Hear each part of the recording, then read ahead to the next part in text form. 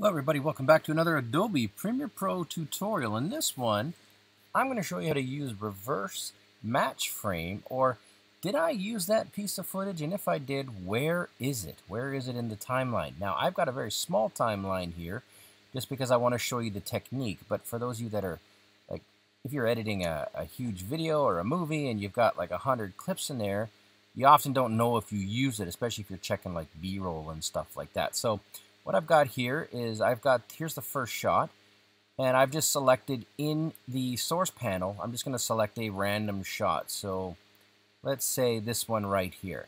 And I want to know when the with the little island coming in, did I use that in the video? Well, all you got to do is do Shift R, and that will take your playhead to the exact part in the video where the shot was used. So Again, my playhead was over here, but I wanted to see if this was used. Shift R, reverse match frame, you'll find it and you'll know if you've used the footage. That's all there is to it, guys. Nice and simple. Thanks for watching. Ton more stuff coming up. Stay tuned.